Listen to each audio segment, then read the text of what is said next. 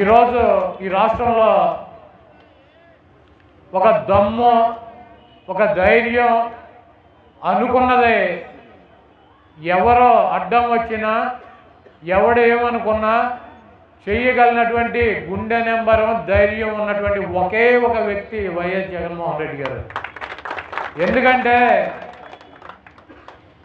ఆయన నా బీసీలు నా ఎస్సీలు నా మైనార్టీలు నా ఎస్టీలు అని పదే పదే చెబుతున్నాడు. చంద్రబాబుని చెప్పమనండి. దమ్ము లేదు. నా బీసీ నా ఎస్టీ నా మైనార్టీ నా బీసీ అని చెప్పాలంటే దమ్ము ఉండాలి నాయకుడికి. ఆ దమ్మున్నటువంటి వ్యక్తి జగన్మోహన్ రెడ్డి గారు. రామోజీరావు నా రాధాకృష్ణ నా బిఆర్ నాయుడు నా పవన్ కళ్యాణ్. ఆయనకి నలుగురు ఉంటే చాలు. ఆయన నలుగురినే నమ్ముకున్నాడు.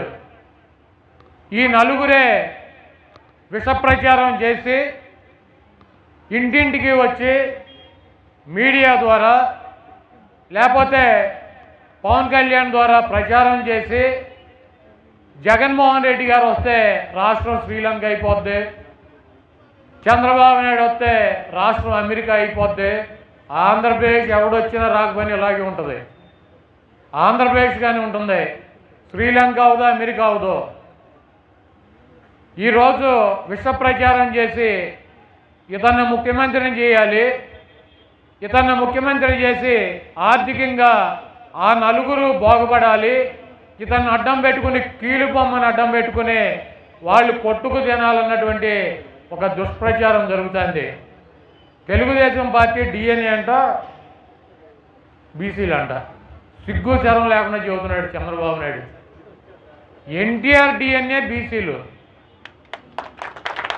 బీసీల కోసం ఈ రాష్ట్రంలో మొట్టమొదట గళం ఎత్తినటువంటి వ్యక్తి వాళ్ళకి రాజకీయ ప్రాధాన్యత ఇచ్చినటువంటి వ్యక్తి వాళ్ళని ఆర్థికంగా సామాజికంగా పైకి తీసుకురావాలని చెప్పి అణు అణువున ప్రతి నిత్యము శ్వాసగా ఊపిరిగా బతికినటువంటి వ్యక్తి మొట్టమొదటి ఎన్టీ రామారావు. ఆ వ్యక్తి డిఎన్ఏ బీసీలు.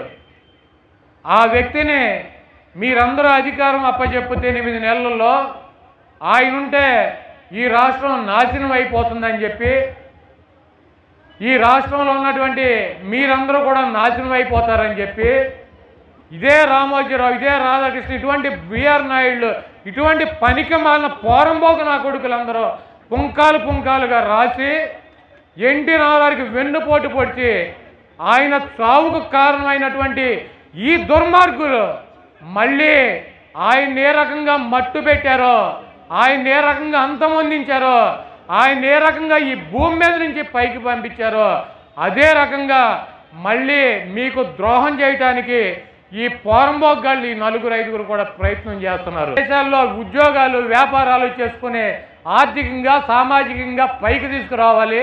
అదేవిధంగా రాజకీయంగా మీ అందరికి కూడా ప్రాధాన్యత కల్పించాలని చెప్పి అవసరం. ఎన్టీ రామారావు డిఎన్ఏ బీసీలు. ఎన్టీఆర్ డిఎన్ఏని ఏం చేశారండి? ఎన్టీ రామారావు పిల్లల్ని అనాథన చేశారు. చెట్టుకోకండి పుట్టుకోకండి. గాలికి వదిలేసినటువంటి గాలికి ముఖ్యమంత్రి చంద్రబాబు నాయుడు. ఈరోజు ఎన్టీ రామారావు మనవణ్ణి రాజకీయాలుగా అడ్డం వస్తాడేమో. మళ్ళీ అతను పార్టీలోకి వస్తే ఎన్టీఆర్ డిఎన్ఏగా ఉన్నటువంటి మీ అందరూ అతనితో పాటు నడుస్తారని చెప్పి అతన్ని పాతాళానికి తొక్కి పప్పు శుద్ధ లాంటి ఈ చౌట దద్దమ్మ సన్నాసి మాట్లాడటం కూడా చేతకానటువంటి గాడు ఈ పప్పుగాడు లొకేషన్ తీసుకొచ్చి మళ్ళీ మీ మీద రుద్దేటువంటి ప్రయత్నం. అంటే మీరు ఈ చంద్రబాబు నాయుడిని గెలిపిస్తే ఈ పప్పుగాడిని తీసుకొచ్చి ఈ రాష్ట్రంలో రుద్ది ఎన్టీఆర్ డిఎన్ఏని శాశ్వతంగా ఈ రాష్ట్రంలో లేకుండా సర్వనాశనం చేయాలన్నటువంటి కుట్రకి చంద్రబాబు నాయుడు ఈ పవన్ కళ్యాణ్ ఈ రామోజీరావు ఈ రాధాకృష్ణ ఈ బీఆర్ నాయుడు పూనుకునే మీ మీద కపట ప్రేమ చూపిస్తున్నారు. ఈరోజు చంద్రబాబు నాయుడు చెప్తాడు బీసీలకు పనిముట్లు ఇచ్చాను నువ్వు ఇచ్చే పనిముట్లు ఎవరికి కావాలి నువ్వే ఉంచుకో. రామోజీరావు ఒకటి రాధాకృష్ణ ఒకటి బీఆర్ నాయుడికి ఒకటి ఇవ్వు. వాళ్ళు చేసుకుంటారు ఆ పనులన్నీ. ఈరోజు బీసీలని ఆర్థికంగా పైకి తీసుకురావాలి సామాజికంగా పైకి తీసుకురావాలంటే ఏం చేయాలి? మీ పిల్లలకి చదువులు చెప్పాలి. మీ పిల్లలకి ఇంగ్లీష్ మీడియంలో విద్య నేర్పాలి. ఈ రాష్ట్రంలో ఉన్నటువంటి నలభై ఐదు వేల ప్రభుత్వ స్కూల్స్లో చదువుకునేటువంటి పిల్లలు ఎవరు? బీసీల పిల్లలు కాదా? ఎస్సీల పిల్లలు కాదా? ఎస్టీల పిల్లలు కాదా? మైనార్టీల పిల్లలు కాదా? అగ్రవర్ణాల్లో డబ్బున్న పిల్లలు ఆ స్కూళ్ళల్లో చదువుతున్నారా? నలభై ఐదు వేల స్కూల్స్ని ఇరవై వేల కోట్ల రూపాయలు ఖర్చు పెట్టి మీ పిల్లలకి గ్రీన్ బోర్డులు బాత్రూంలో టాయిలెట్స్లో ఉన్నటువంటి టైల్స్ కానించి క్లాస్ రూమ్స్లో ఉన్నటువంటి బల్లలు కుర్చీలు విద్యలో ఇంగ్లీష్ మీడియం విద్య ఈ రకంగా మధ్యాహ్నం పూట భోజన పథకం వీటన్నిటినీ కూడా మార్పులు చేసి పేద విద్యార్థులకి అమ్మఒడి అని చెప్పి సంవత్సరానికి ఆరు వేల ఐదు వందల కోట్ల రూపాయలు. ఈ ఐదు సంవత్సరాల్లో దాదాపు ముప్పై వేల కోట్ల రూపాయలు అమ్మఒడి కింద మీకు ఫీజు రియంబర్స్మెంట్ కింద మీ ఇంజనీర్లు చదువుకునేటువంటి పిల్లలకి డాక్టర్లు చదువుకునేటువంటి పిల్లలకి అనేక కోర్సులు చదువుకునేటువంటి పిల్లలకి ఫీజు రియంబర్స్మెంట్ ఇచ్చి ఈరోజు విద్యా దీవెన అని చెప్పి విద్యా కానుక అని చెప్పి అనేక రకాలైనటువంటి ప్రోత్సాహాలు ఇచ్చి మీ పిల్లల్ని బాగా చదివించి ఆరు నెలలు అయిందా? ఏడు నెలలు? ఏడు నెలలు. డెబ్బై నాలుగు సంవత్సరాల్లో ఏడు నెలలు లేవంట. జగన్మోహన్ రెడ్డి గారిని గెలిపించినటువంటి పుట్ట రేణుకమ్మనే బీసీ సోదరులను పార్టీలో చేర్చుకుని ఆవిడని గాలి కొదిలేసి కోట్ల విజయభాస్కర్ రెడ్డి గారి అబ్బాయిని కోట్ల సూర్యప్రతాప్ రెడ్డిని చేర్చుకుని ఎంపీ సీట్ ఇచ్చినటువంటి దిక్కుమాలినటువంటి వ్యక్తి చంద్రబాబు నాయుడు. అదేవిధంగా అనంతపూర్లో ఏం చేశాడు? జేసీ దివాకర్ రెడ్డిని చేర్చుకుని అప్పటి వరకు ఎన్టీ రామారావుని బండ బూతులు తిట్టినటువంటి దివాకర్ రెడ్డిని చేర్చుకుని దివాకర్ రెడ్డికి ఎంపీ సీట్ ఇచ్చాడు. అదే కర్నూలులో అదే అనంతపూర్లో ఇద్దరు బీసీ సోదరులకి ఎంపీ సీట్లు ఇచ్చి గెలిపించినటువంటి వ్యక్తి జగన్మోహన్ రెడ్డి గారు. రాజమండ్రిలో పాదయాత్రలో ఈ సీటు బీసీకి ఇస్తానని చెప్పి ఎంపీకి మార్గాని భర్తకి మార్గాని భర్త ఎవరికైనా తెలుసా? ఎవరి మీద పోటీ పెట్టాడు రాజమండ్రిలో? రాజమండ్రి సీట్లో మార్గాన్ని భర్తను పెట్టి ఎంపీగా గెలిపించినటువంటి వ్యక్తి జగన్మోహన్ రెడ్డి గారు. రాజ్యసభలో ఎనిమిది వస్తే పిల్లి సుభాష్ చంద్రబోస్ గారు. ఆయన దగ్గర ఏముంది? పక్కన నాబోటి పది మంది వెళ్తే హోటల్లో బిల్లు కూడా తక్కువ డబ్బులు ఉండవు. మోపిదేవి వెంకటరమణ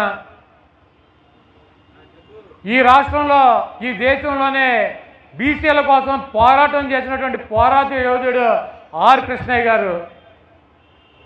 అదేవిధంగా కావలి మస్తాన్ నలుగురికి బీసీలకి రాజ్యసభ సభ్యులకి ఇచ్చాడు. అదే చంద్రబాబు నాయుడు అయితే నాలుగు మూడు పన్నెండు వందల కోట్లకి నాబోటి నా కొడుకులకి అమ్మేసేవాడు.